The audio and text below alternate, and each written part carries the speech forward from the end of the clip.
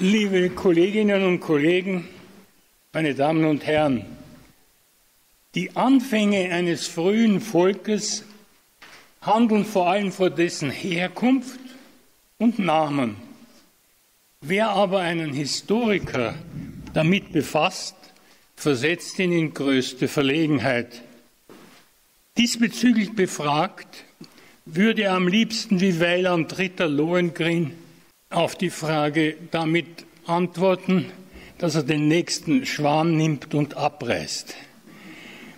Der Historiker kann nämlich die Frage mit seinem methodischen Instrumentarium und aus Mangel zeitnaher schriftlicher Quellen nicht beantworten, denn Ursprünge und Anfänge werden erst literarisch, wenn man sie braucht und dann viele Generationen weit von ihnen entfernt ist. So müssen die Historiker Anleihen bei Archäologie und Linguistik machen. Beide sind aber keine Historien mit anderen Mitteln, sondern haben ihre eigenen Fragestellungen, auf die sie mit eigenen Methoden ihre eigenen Antworten zu finden suchen. Die Zeugnisse der Archäologie und Linguistik sind daher nur mit großer Sorgfalt einer historischen Darstellung einzufügen, um nicht in die Falle der vermischten Argumentation zu tappen, wovor Rolf Hachmann und sein Schüler Volker Bierbrauer schon vor einiger Zeit so eindringlich gewarnt haben. Es ist zwar weitgehend anerkannt, dass die Namen der gotisch-gautischen Völker diesseits wie jenseits der Ostsee das gleiche bedeuten und etwas mit Gießen, gotisch Jutan, zu tun haben. Fraglich ist jedoch, wer oder was der, die Gießenden waren. Ob ethnozentrisch die gotischen Männer, die Samenausgießer, die sich bescheiden als die Menschen verstanden, wie es allerdings viele derartige Völkernamen tun, oder sie waren die Hengste nach einer eponymen Gottheit in Pferdegestalt, von der man allerdings nichts weiß, außer dass übelmeinende Nachbarn sich die Geschichte erzählten, wonach das gesamte Gotenvolk nicht mehr wert sei als ein einziger Gaul. Oder die Gotengauten, aktuell Jöta, trugen ihren Namen nach einem Fluss, wofür in Südschweden der noch aktuell so benannte Göta-Elf und auf dem Kontinent der vom älteren Plinius im ersten Jahrhundert erstmals erwähnte Guttalus, vielleicht Gotenfluss, zur Verfügung stand. Dazu gibt es neben den beiden südschwedischen Jöterländern auch die nach Goten, Jöter benannte Insel Gotland. Anscheinend oder scheinbar eindeutige Sachverhalte, doch bleiben wir zunächst noch bei der Namenfrage. Spätestens für die Zeit ab dem Ende des dritten Jahrhunderts spricht man im Deutschen von Westgoten und Ostgoten, aber meist ohne die damals gültigen Namen zu berücksichtigen. Tatsächlich wird bereits im Frühjahr 291 zum ersten Mal von einer Pars Gotorum, von einem Teil der Goten berichtet, die Terwingen Waldbewohner hieß und die westliche Abteilung, grob gesprochen, im heutigen Rumänien bildete. Das östliche ukrainische Gegenstück dazu waren die Kreutungen, die Steinbewohner oder Strandbewohner. Beide Ethnonyme waren landschaftsgebundene Exonyme, Fremdbezeichnungen und verschwanden um 400 mit der Aufgabe der gotischen Sitze nördlich von Donau und Schwarzem Meer. Ihre Namen lebten aber in höchst aufschlussreicher Weise im nordischen Heldenlied vor, als Dirfinger und Grüttinger Liedi. Sich selbst bezeichneten die westlichen Goten auch als Wesier, als die Guten, Edlen, die östlichen Goten als die Ostrogoten, als die durch den Sonnenaufgang glänzenden Goten. Die Getiker machte im 6. Jahrhundert aus diesem Namenspaar die Wesigoten im Sinne von Westgoten im Gegensatz zu den Ostrogoten, den Ostgoten. Als Selbstbezeichnung überwog jedoch zu dieser Zeit und für die Zukunft bei beiden Völkern stets der einfache Gotenname, wie auch der Wechsel von einem Gotenvolk zum anderen jederzeit leicht möglich war. Nun zur Herkunft. Was die Herkunft der oder besser von Goten betrifft, ist nochmals festzuhalten, dass auf beiden Seiten der Ostsee Völker mit demselben Namen lebten. Ob sie jemals ein Volk gewesen sind, muss keineswegs gesagt sein. In seiner Marius-Biografie berichtet Plutarch, die Schlacht von Aquae Sextiae 122 vor Christus sei durch das Aufeinandertreffen der mit den Teutonen verbündeten, wohl germanischen oder germanisierten Ambronen mit den ligurischen Ambronen des Römerheeres eröffnet worden.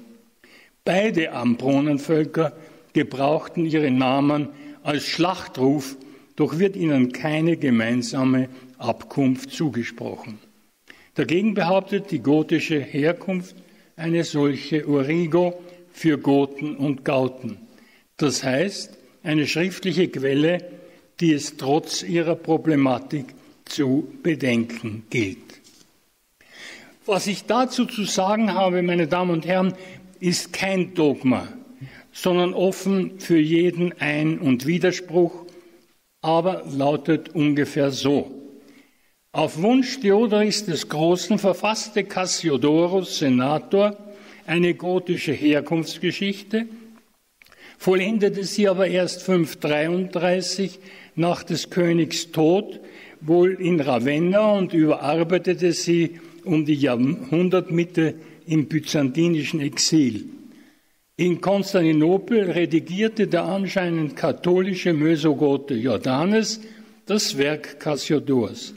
Er brachte dessen Origo Actusque Getarum, kurz Getica, in eine Form, die erhalten blieb, weil sie die historische Entwicklung von um 550 berücksichtigte, während die umfangreichere, wesentlich umfangreichere Vorlage ihre Aktualität verloren hatte und daher verloren ging.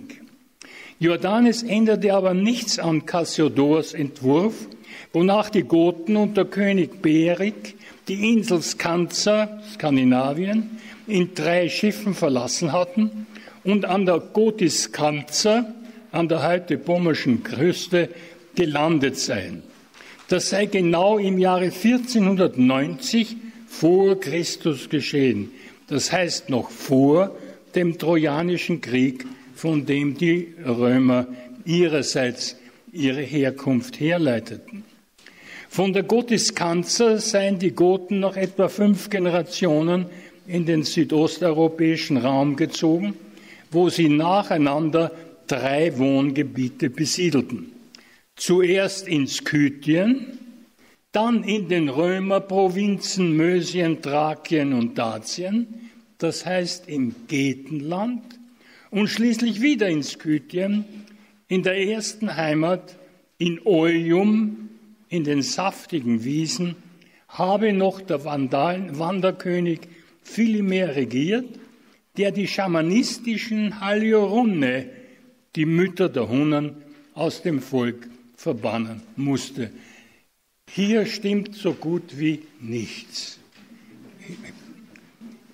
Weil 1490 und fünf Generationen, Cassiodor rechnet eine Generation zu 25 Jahren, Sie können sich ausrechnen, da kommt man nicht auf 375 nach Christus und so weiter und so fort.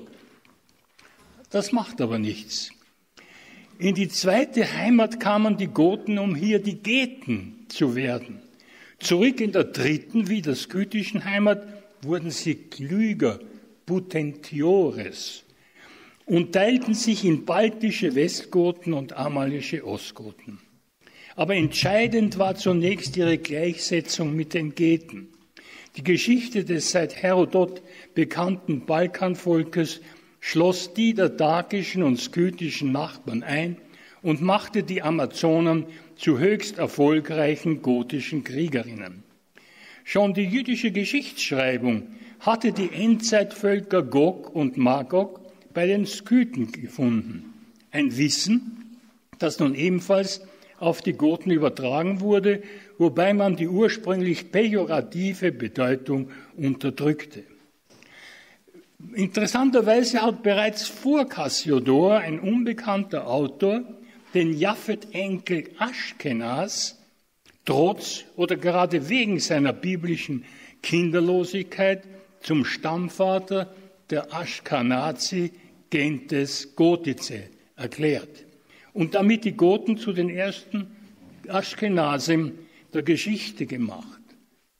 Luitpold Wallach, der bereits 1939 und dann 1963 auf diese Stelle aufmerksam gemacht hat, stellt die Frage, ob nicht Ashkenazi auch deswegen gewählt wurde, weil man den Namen etymologisch unter Anführungszeichen mit der Insel Skanza verbinden konnte. Mit der Verschriftlichung ihrer Herkunft erhielten die Goten eine den antiken Völkern, insbesondere den Römern, vergleichbare Geschichte. Origenem Gothicam Historiam fecit Romanam. Er machte die gotische Herkunftsgeschichte zur römischen Historie, lässt Cassiodor den König Attallerich über seine Komposition sagen. Kein Wunder, dass die ältesten Goten keine Ahnung von einer solchen Herkunft hatten und sich wunderten, als sie Cassiodors römische Gotengeschichte hörend lasen, als sie ihnen vorgetragen wurde, wie der Autor selbst zugeben musste. Wir heutigen können die Verwunderung der gotischen Alten verstehen, können aber die gotische Geschichte als unhistorisch bezeichnen, weil wir wissen, dass die der heute verlorenen Getiker des Dion Chrysostomos, gestorben vor 120 nach Christus, entnommen wurde. Aber wir spitzen wie die gotischen Kreise die Ohren, wenn mitten im Getenblock die 17-gliedrige, inhaltlich wie sprachlich rein gotische Genealogie der Amala auftaucht. Ein Sieg über die Römer zur Zeit Kaiser Domitians äh, selbstverständlich der getischen Historie entnommen, motivierte die Origo Amalorum, den Stammbaum der Amaler, des höchstrangigen gotischen Königsgeschlecht, dem auch der Auftraggeber Theodorich der Große angehörte.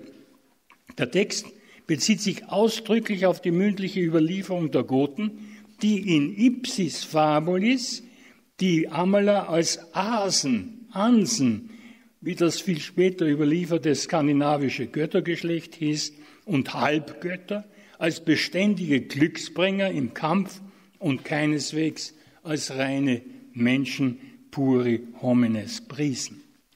Trotzdem beginnt die Origa Amalorum nicht mit dem Heros Eponymos, sondern weist Amal bloß den vierten Platz in einer Genealogie zu, die mit zwei oder drei skandinavischen Götternamen beginnt. An der Spitze steht Gaut, der Stammvater vieler Völker auf dem Kontinent, in Britannien und vor allem der skandinavischen Gauten. Einst bekennt Odin, sein früherer Name sei Gauter gewesen und auch die gotische Überlieferung kennt keinen Odin Wodan.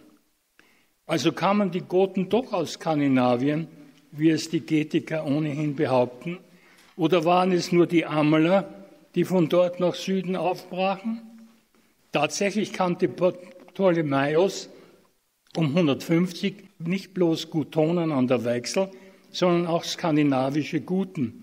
Und Prokopius wusste im 6. Jahrhundert von Gauten auf Thule. Die beiden Griechen übertreffend erwähnt Cassiodor skandinavische Ostrogoten, Gautigoten und andere gotisch-gautische Völker Liest man aber die Getiker-Stellen genauer, kann man sagen, die Kunde von ihren skandinavischen Verwandten und ihrer daraus abgeleiteten Herkunft hatten die Goten nicht ein halbes Jahrtausend lang auf ihren Wanderungen mitgeschleppt, was schon deswegen nicht denkbar ist, weil es die Goten als unveränderliches Ethnos nie gab. Vielmehr hatte ein Flüchtling diese Nachricht erst vor kurzem nach Ravenna gebracht. Um 500 verzichtete nämlich ein skandinavisch-gautischer Rodolf auf, ich zitiere, sein eigenes Königtum, vertraute sich dem Schutz des Gotenkönigs Theoderich an und fand das Gewünschte in Ravenna, wie bei einem Stammesverwandten, möchte man hinzufügen. Mit der Nennung Rodulfs schließt Cassiodor den Skandinavienblock ab und der Autor kennt dafür keine andere Quelle. Und zwar ganz im Unterschied zur skythischen Vergangenheit der Goten.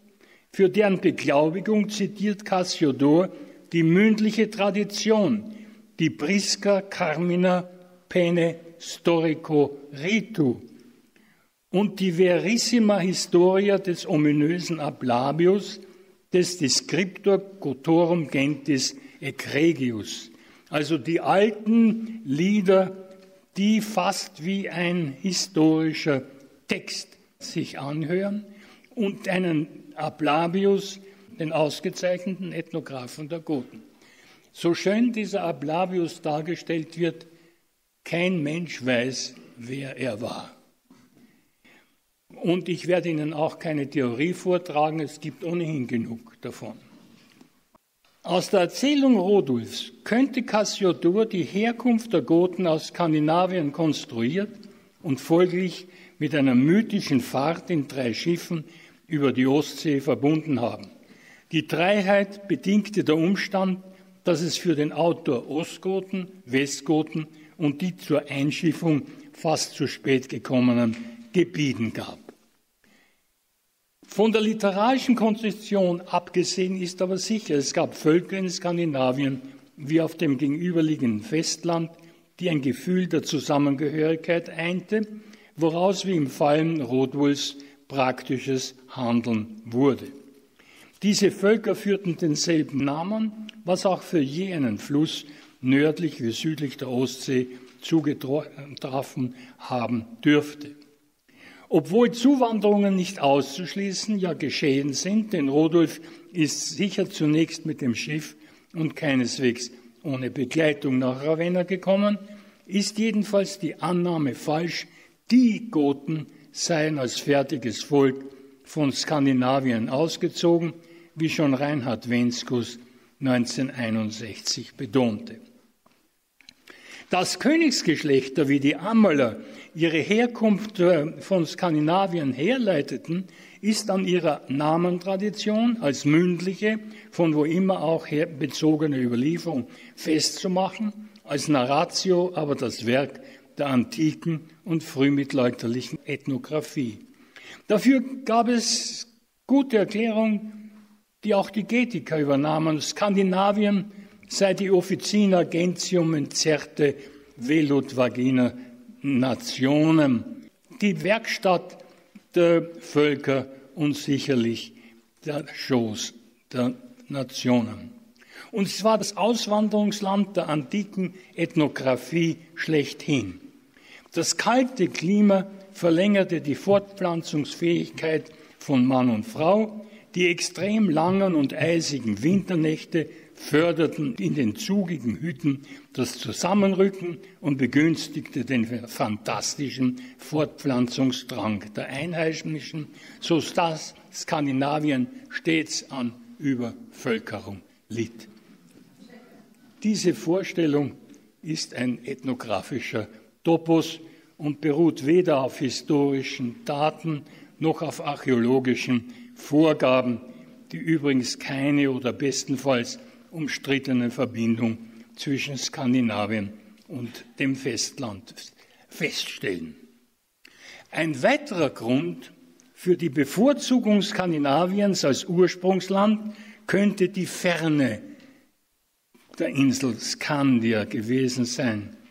Vergleichbar mit Abrahams Ur in Chaldea, das den Juden einen herausragenden alten kulturellen Stammbaum verschaffte. Vielgliedrige Genealogien schufen Altehrwürdigkeit und damit Vorrang unter den Völkern und Königsgeschlechtern. Sie halfen aber auch im täglichen Leben.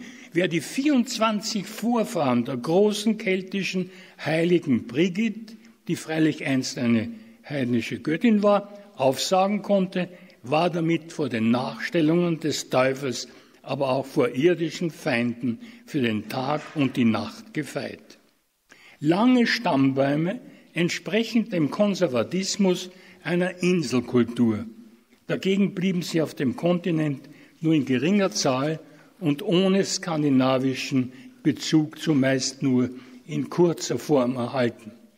Der mächtige Frankenkönig Chlodwig nahm in seiner vorethnografischen Genealogie bereits den vierten Platz ein und schon sein Urgroßvater war ein halbgöttlicher Stier, erzählte man sich in Kreisen, die den Merowingern eher unfreundlich gesinnt waren.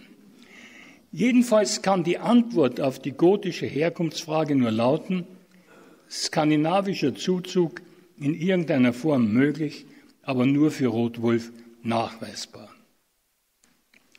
Damit kann endlich die historische Erzählung die Origo ablösen. Während die Überlieferung in wie außerhalb der Getika für Skandinavien nur Namen kennt, werden als erstes mögliches, mögliches Volk die Gutonen als handelnde Subjekte beschrieben. Zwischen Christi Geburt und der Mitte des zweiten Jahrhunderts erwähnen sie je zwei griechische und lateinische Autoren und lokalisieren sie zunächst in Küstennähe zwischen Oder und Weichsel, also noch in, obgleich am Rande der Germania, und zugegeben die Bezeichnung der Gedonen als gotisches Volk ist keine rein historische, sondern eine linguistisch-archäologische Annahme. Es gibt nicht wenige Archäologen, die die bommersch-westpreußische Wilbak, Wilmberg, die ukrainische Tschernjachow und die siebenbürgische Sundtener Demurisch-Kultur miteinander in Verbindung bringen. Sie als gotisch verstehen und somit die Gotonen als Vorgänger der donauländischen und pontischen Goten annehmen. Linguistisch wird argumentiert, dass der Name Gutones die volkssprachliche Eigenbezeichnung gut enthält, wie vielleicht in Gutalus, vor allem aber nachweisbar in Gutsjuda ist gleich Gotenvolk im Sinne von Gotenland erhalten ist. Die Gotonen waren zeitweise abhängiges und noch um 150 nach Christus kleines Volk, das Tacitus zu den germanischen Oststämmen zählte. Sie besaßen nach ihm und dem älteren Plinius Beziehungen zu zwei gentilen Verbänden, zur logisch-vandalischen Völkergruppe an und östlich der Oder und zu den Markomannern im heutigen Böhmen und Mähren, ja noch herunter bis ins niederösterreichische Machfeld.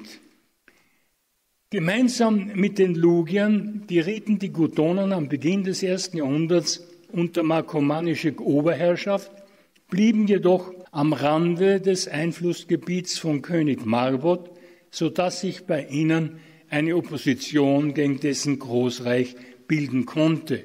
Vom gutonischen Stammesgebiet aus wurde der mächtige Markomannenfürst mit römischer Hilfe im Jahre 18 oder kurz danach äh, gestürzt. Aus der Marbot-Zeit stammen zwei Gegenstände, die das Markomannenland mit dem gutonischen Siedlungsgebiet verbinden. Von den zwei aus derselben römischen Werkstatt importierten, völlig gleichen Bronzekesseln, äh, denen die Produzenten je vier bärtige Germanenköpfe attachiert hatten, wurde der eine im südmährischen Muschow, Muschau, der andere im ostbommerschen Tschernowko, Scharnhorst bei Leburg-Laubenburg gefunden. Die Kotonen hatten ein für Germanen sehr starkes Königtum und dieses besaß die Fähigkeit, die Kotonen als polyethnisches Volk zu organisieren. Nach der Mitte des zweiten Jahrhunderts wurden die Kotonen so mächtig, dass sie sich von Mittelpolen über die Weichsel nach Südosten zum Schwarzen Meer hin ausbreiteten. Die Wanderer lösten eine so große Unruhe aus, dass die alte Welt von den Markomanenstürmern heimgesucht wurde und erlebten selbst eine gewaltige Veränderung. Sie vergesellschafteten sich mit finnischen, baltischen, iranisch-sarmatischen und venetischen Völkern. Aus ihnen wurden Skythen, die die antiken Autoren als Goten von den Germanen unterschieden. Nach einigen Jahrzehnten der Konsolidierung begann 238 an der unteren Donau der große Gotenkrieg, der im Wesentlichen bis 269, 71 dauerte. Zu Lande und bald auch zur See griffen die Goten mit ihren verbündeten Völkern an. Sie plünderten, verheeren. Oft fangen die Römer die Angreifer ab, fügen ihnen schwere äh, bis schwerste Verluste zu. Doch sobald die Einbußen behoben waren, sind sie wieder da. Das Land ist zerstört. Die Einheimischen, die der Feind nicht getötet oder fortgetrieben hat, fallen nun Hunger und Pest, wie jede äh, große Pandemie in der Antike und auch noch im Mittelalter genannt wird, zum Opfer. Aber im römischen Heer, das Kaiser Gordian III. im Jahre 42 gegen die Perser führte, befanden sich neben germanische auch gotische Völker. Man konnte sie offenkundig als Hilfsvölker unter Vertrag nehmen. In den Jahren 250, 51 erlitten die Römer eine gewaltige Goteninvasion zur Katastrophe von Abritus führte.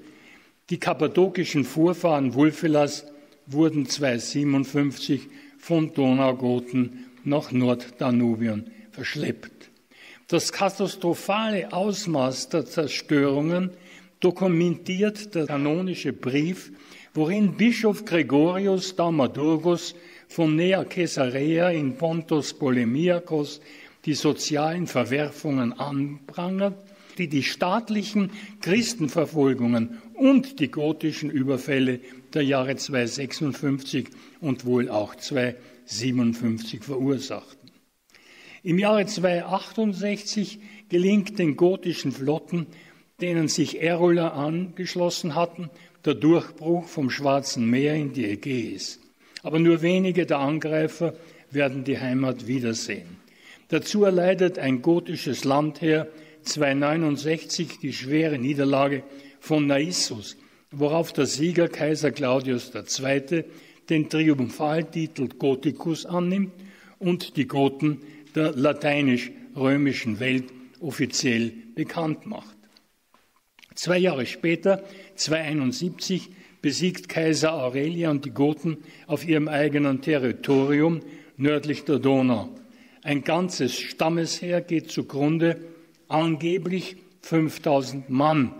Allerdings, das ist eine problematische Zahl, weil es so vieler toter Feinde bedurfte, um in Rom einen Triumph zu feiern, wie dies Aurelian tatsächlich tat. Der Gotenkönig fällt, das im Westen dominierende Königtum erlischt. Die Goten spalten sich in westliche königlose Terwingen und östliche Kreutungen, die den, das Königtum behalten oder sehr bald mit den Amalern wieder errichten. Der Thüri-Bericht über das dritte Jahrhundert entspricht der dürftigen Quellenlage, die noch dazu auf späten, nicht immer verlässlichen Autoren beruht. Der einzige und außerdem höchst kompetente Zeitgenosse der Ereignisse wäre der Grieche Publius Herennius Texibos gewesen, der in der Mitte der 270er Jahre eine Skythika, eine vorwiegend gotische Geschichte, verfasste, wovon jedoch nur Fragmente erhalten blieben. Ihre Zahl wurde erst jüngst und wird weiterhin durch das Projekt Skythika Vitobonesensia vermehrt. Damit ist die Bearbeitung eines griechischen Palimpsestes der Wiener Handschriftensammlung gemeint, die Jana Kruskova und Günther Martin so erfolgreich durchführen. Ihnen und ihren Mentoren Otto Gresten und Fritz Mithoff kann nicht genug gedankt werden. Leider komme ich eine Woche zu früh, weil nächste Woche besuchen mich die beiden Forscher und wollen mir neue Dinge berichten, die sie in der Zwischenzeit gefunden haben. Ich kann Ihnen also nur das berichten, was Sie bisher bekannt gemacht haben. Als die Kollegen vor einiger Zeit den Namen Knivas entdeckten, war zu erwarten, dass dadurch die Geschichte des bloß in den Getiker einwandfrei genannten Gotenkönigs erweitert und gesichert würde. Als aber nicht lange danach ein Zeitgenosse Knivas und gotischer Heerführer namens Ostrogotha auftauchte, hatte der ostrogotische Heros Eponymos, ansische Amala, mythische Vorfahre Theodoris des Großen, einen sehr realen historischen Namensvetter erhalten, und zwar einen, auf den der Gotenkönig zu Ravenna wahrlich nicht stolz sein konnte, erinnerte ihn doch an seinen glücklosen jüngeren Bruder Diodimund. Cassiodor kannte Dexibos, zitierte ihn jedoch aus guten Gründen nicht im Zusammenhang mit den römisch-gotischen Kämpfen der Mitte des dritten Jahrhunderts. In der Schlacht von Abritus beim heutigen bulgarischen Hisalak nahe Rasgrad besiegte der Gotenkönig Kniva die beiden Dezier, wobei Vater und Sohn den Tod fanden. In den Getika nimmt ein König Ostrogotha an keiner der gotischen Großtaten südlich der Donau teil, sondern Cassiodor macht ihn, den Amaler, zum Vorgänger des nicht-amalischen Kniver und lässt ihn, wie zu errechnen, 251 im Jahr von Abritus sterben. Der Getika Ostrogotha hatte über eine gewaltige Streitmacht aus germanisch-sarmatischen Völkern und römischen Überläufern verfügt, richtete jedoch nichts Großartiges aus, so dass man diesen Ostrogotha schon als Beinamen Knievas angesehen oder ihm überhaupt jegliche Historizität abgesprochen hat. Cassiodor fand jedenfalls in seiner Vorlage Depsikos offenkundig nichts, was für seine Gotengeschichte verwendbar gewesen wäre. Deshalb lässt der Ostrogotha, der eigentlich schon tot ist, auch das Römerreich verlassen. Nach langer erfolgloser Belagerung von Marcionopolis sei Ostrogotha mit seinen Goten durch Empfang von Lösegeldern bereichert, in die Heimat abgezogen, heißt es in den Getika. Die Heimkehr war auch höchste Zeit, denn die Gebieten hatten es auf das Lösegeld und die Wohnsitze der Goten abgesehen. Ostrogotha besiegt die Gebieten unter König Fastida und ist scheinbar von der Geschichte gerettet. Nur dumm, dass sich die gotisch-gebitische Auseinandersetzung 40 Jahre später um 290 erreicht hat, als der Getiker Ostrogotha wahrlich längst schon tot war und wahrscheinlich im heutigen Sibirien die Schlacht schlug, wo ein Ostrogotha als König vom pontischen Ostrogoten nichts zu suchen hatte. Aber auch für diese Schwierigkeit weiß Cassiodor Rat. Für ihn ist Ostrogotha im Widerspruch zu anderen Stellen der Getika und zur Logik einer ethnischen Namensgebung hier noch der König beider Gotenvölker. Dagegen berichtete eine gute zeitgenössische Quelle zum Frühjahr 291 von Kämpfen der westlichen Goten, der Terwingern und ihrer taifalischen Verbündeten mit Gebieten und Vandalen. Es werden aber weder die Namen der beteiligten Heerführer noch die Orte der Auseinandersetzungen genannt. Anscheinend hatte Cassiodor davon auch andere Nachrichten. Er wusste nämlich, dass der Kampf beim Oppidum Galtis stattfindet, und zwar an einem Fluss, der den germanischen Namen Ocher, Ache trug. Diese ganze Geschichte stammt aus der Überlieferung der westlichen Goten, wofür auch die Mitwirkung der nördlich der unteren Donau lebenden Teifalen spricht. Weil aber der gotische Anführer anscheinend ebenfalls Ostrogotha hieß, äh, lässt äh, Cassiodor seinen amalischen Ostrogotha auch den Sieg über den Gebieten König Quassida feierte. Die Skythiker, Vildobonensier, zeichnen dagegen ein ganz anderes Bild und bringen Licht in das Chaos von Widersprüchen und Anachronismus. Es gab tatsächlich, wie gesagt, einen Zeitgenossen Gnivas, der Ostrogotha hieß, nur war er weder ein König, noch der Stammvater der Ostrogothen, noch ein Angehöriger der Ostrogothen, die es sicher noch nicht gab, noch der Sechste im heroisch-mythischen Stammbaum der Amaler, sondern ein Mann, der Glanzgote oder Sonnenaufgangsgote hieß. Der moderne Männername Anatol bedeutet ja ungefähr das Gleiche. Und ein durchaus realer Archon von Skythen war, das heißt ein nicht königlicher Heerführer von Goten. Kaiser Decius erwartet seinen Angriff, doch brechen hier die neuen Fragmente derzeit noch ab. Knapp vorher hatten diese Fragmente mitgeteilt, dass Ostrogotha auf römischen Booten operierte, und zwar gleichzeitig, aber unabhängig vom Basileus Kniva und ohne Erfolg. Dagegen priesen die Goten Knivas ihren König in Lobliedern wegen glücklicher Siege und besonders wegen der Einnahme von Philippopolis, Plovdiv, im Sommer 250. Ein derartiger Lobpreis war eine hohe Auszeichnung, wie die Getiker an mehreren Stellen betonen. Dagegen warfen die Goten der Skythiker Vindobonensier ihrem Anführer Ostrogotha Feigheit, Malakia und vor allem Distichia, Glücklosigkeit vor. Kein schlimmerer Vorwurf als dieser war denkbar, meine Damen und Herren. Glück musste ein König haben und das Gleiche galt von den nichtköniglichen Anführern und ihren Sippen, die, ich zitiere, den Königen an Würde und Glück nicht nachstanden, wie ausgerechnet Dexigvos wusste. Die Ergebnisse der beiden Palimpsestforscher können daher getrost als Sensation gelten, zumal sie Anstoß für eine Sicherung der Autorenschaft der Getiker geben dürften. Cassiodor zählte Ostrogotha zu den amalischen Heroen, die die Goten als nicht gewöhnliche Menschen, sondern als ansische Halbgötter verehrten, ich zitiere, mit deren Art von Glück sie zu siegen pflegten. Der Heros Eponymos Amal erglänzte in einem sicher von Cassiodor entworfenen Amal als Winterstammbaum durch sein Glück, Felicitate.